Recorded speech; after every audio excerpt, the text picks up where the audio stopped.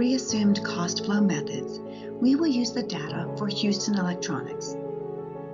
Houston had a total of 1,000 units available to sell during the period, and that represents the beginning inventory plus purchases. The total cost of 1,000 units is $12,000. This represents the cost of goods available for sale. A physical inventory taken at December 31st determined that there were 450 units in ending inventory. So Houston sold 550 units, and this is found by simply taking 1,000 and subtracting the 450 units. To determine the cost of the 550 units that were sold, the cost of goods sold, we will determine the ending inventory and subtract that value from the cost of goods available for sale, which is $12,000. The value assigned to the ending inventory will depend upon which cost flow method we use. The first in, first out FIFO method assumes that the earliest goods purchased are the first to be sold. So under this method, the cost of the earliest goods purchased are the first to be recognized in determining cost of goods sold. Companies determine the cost of ending inventory by taking the unit cost of the most recent purchase and working backward until all units of inventory have been costed. Under FIFO, we determine the cost of ending inventory by taking the unit cost of the most recent purchase and working backward until all units of inventory have been costed or accounted for we will price the 450 units of ending inventory using the most recent prices. So we're going to start with the most recent purchase. In this example, it's 400 units at $13 on November 27th. And the remaining 50 units are priced using the unit cost of the second most recent purchase, which is $12 on August 24th. So we will assign 400 units, the unit cost of $13, and the remaining 50 units using the unit cost of $12 to arrive at our ending inventory of $5,800. We calculate the cost of goods sold by subtracting the cost of the units not sold, or ending inventory, from the cost of goods available for sale. In this example, we had $12,000 of goods available for sale. Of that 12,000, we assigned 5,800 to our ending inventory, which means 6,200 will be assigned to the cost of goods sold. Companies also can calculate cost of goods sold by pricing the 550 units sold using the prices of the first 550 units acquired. There were 300 units purchased on August 24th.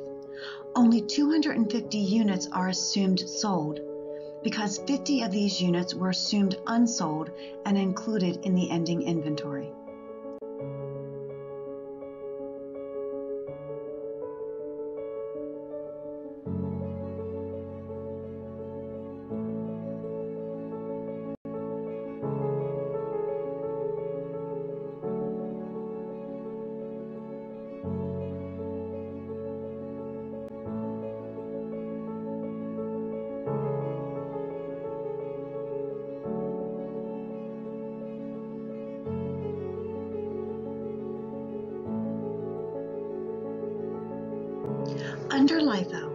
Determine the cost of the ending inventory by taking the unit cost of the earliest goods available for sale and working forward until all units of inventory have been costed or accounted for. We will price the 450 units of ending inventory using the earliest prices. The first purchase was 100 units at $10 on January 1st. We'll then work forward to the next purchase. In this instance, it's 200 units at $11. And then the remaining 150 units needed are priced at $12 per unit. So when we assign cost to our ending inventory, We're going to use 100 units at $10. We're going to work our way forward to our next purchase of 200 units at $11. And then finally, we need a remaining 150 units to account for the total ending inventory of 450, which means we take 150 at $12, which means our ending inventory is valued at $5,000. We calculate the cost of goods sold by subtracting the cost of the units not sold or ending inventory from the cost of goods available for sale.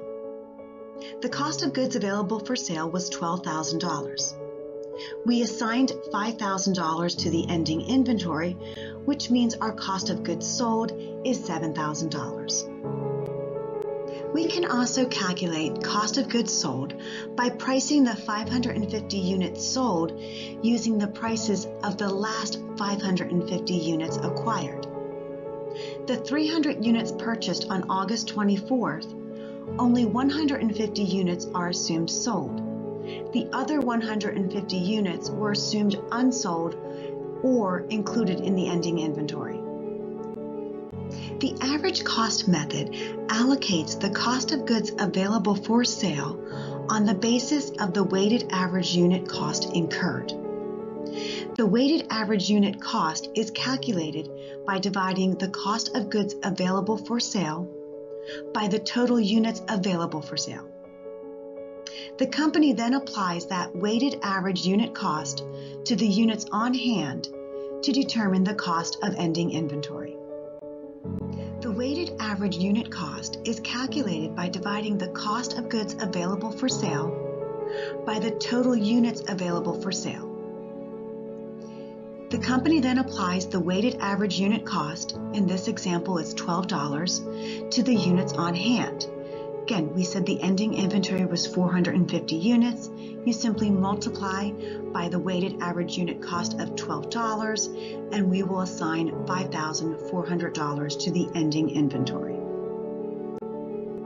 We calculate the cost of goods sold by subtracting the cost of the units not sold or ending inventory from the cost of goods available for sale.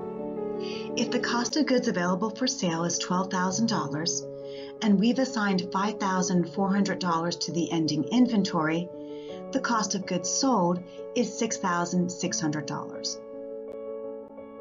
We can verify the cost of goods sold of $6,600 by multiplying the units sold, we sold 550 units, times the weighted average unit cost of $12 to arrive at a cost of goods sold of $6,600.